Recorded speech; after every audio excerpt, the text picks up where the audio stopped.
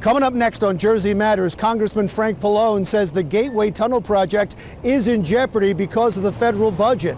Also, a new program to get you and me to help victims of accidents and shootings stop the bleeding. And a former state police officer says the way to fight the opioid crisis is to let people shoot up. Those stories and a whole lot more because Jersey Matters.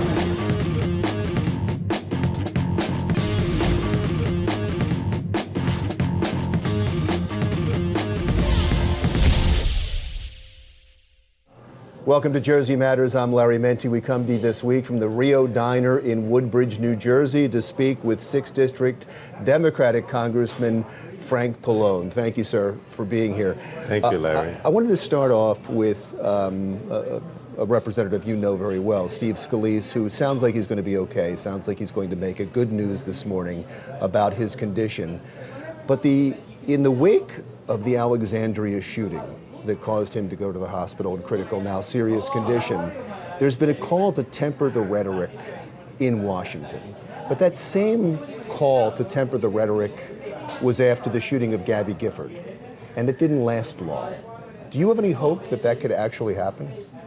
Well, I think it's important that it does happen, although I do think that the idea that, you know, we're constantly yelling at each other and calling each other names isn't really true. Um, I think to some extent, and I know I, it's easy to blame the president, but I think that President Trump has really caused this to accelerate. It's not so much a problem with members of Congress themselves, because remember, we're more collegial and we know each other.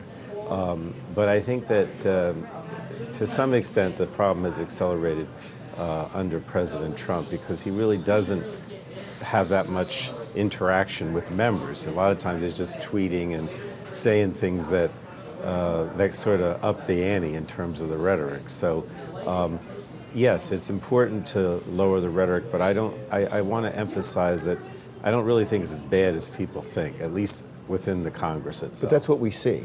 Yeah. That's what we see. And, and so do you blame it all the coverage that because Donald Trump knows how to get covered. Exactly. If, if he uses the right type of rhetoric, he's going to get on television. Right. Someone who doesn't use that rhetoric doesn't get on television. I do blame the media to some extent. I mean, I don't want to put all the blame on you guys, but I do blame the media to some extent because I do think that people, politicians know that if they say bad things or call each other names, they're more likely to be on TV. To some extent, some of the some of the uh, TV programs have taken it to the extreme. Like, I was, I was, I think I mentioned it before, Larry. That I think it's the Washington Journal, which is is that the C-SPAN that yeah, does C-SPAN, Washington exactly. Journal. You know, every once in a while they'll ask me to go on, and I really don't like the fact that when they have call-ins, they'll have people identify their party.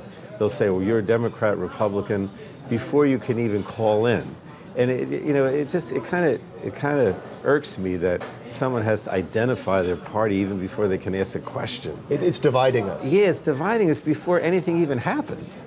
So I mean, there's definitely the media is partially to blame. I mean, I'm not going to blame them completely, but it is partially to blame, I think. But let's talk about a bipartisan effort in, in New Jersey. All 14 uh, lawmakers that serve in Washington got together to come out against seismic testing, which could lead to oil drilling off of the New Jersey coastline.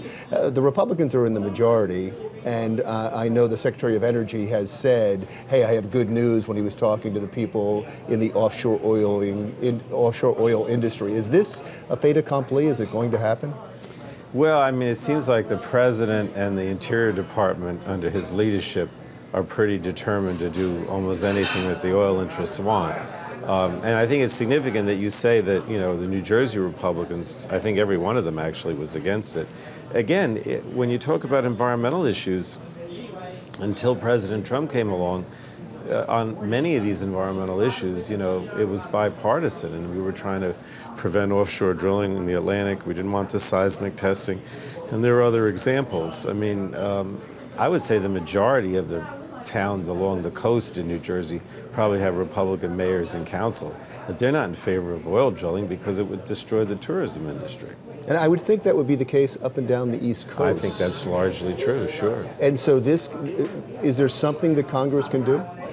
Well, I don't know that we can get to Congress because the, the, the, the Republican leadership in the House and the Senate is probably pro drilling and pro seismic testing. It's more of a regional phenomenon where, you know, those, those that live along the coast see the, the danger. You know, if you think about it, you're talking about right now the actual proven reserves for oil and natural gas off the Atlantic probably are only a couple weeks world supply, right? As opposed to a multi-billion dollar tourism industry. If you have to weigh those two things, there's absolutely no way that you come out in favor of drilling because uh, in terms of jobs and the economy, the tourism industry is much more important. But it's important for our viewers to understand this seismic testing would be the first step. Yes, sure. And so if, if that gets approved, that's, that's the first step towards oil Right, drilling. and that's why we've always opposed it. The seismic testing is basically these loud, loud sounds uh, that the oil companies use to try to determine where the where the reserves are for oil and gas, where they could drill. But um, so it's not only the first step to the drilling, which obviously we don't want, but also the environmentalists claim that it has a negative impact on uh, marine mammals and different marine life as well. I, I wanted to talk about the Gateway Project. Uh, Governor Christie's come out recently and said that the cut in funding that uh, Donald Trump has talked about in his spending plan will have no effect on the Gateway Project. Yeah, I don't Are you confident in that? No, absolutely not. You see, the problem is, well, first of all, we should have done the, the tunnel when we had the $15 billion or whatever it was, you know, when Christie was first elected, and that was a huge mistake. But Trump has said two things. First of all, he's cut back on transportation funding uh, in his proposed budget, including the new STARTS program, which would be used to pay for the tunnel. Uh, in addition, he's talked about a larger infrastructure package, but that hasn't come to fruition. So I would be very concerned that the cuts, if the cuts that President Trump has proposed in the budget came to fruition, that the money wouldn't be there for Gateway.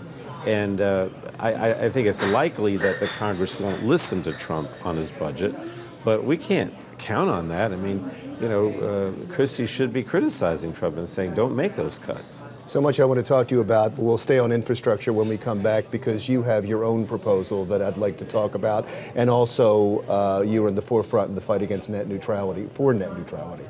Jersey Matters continues right after this.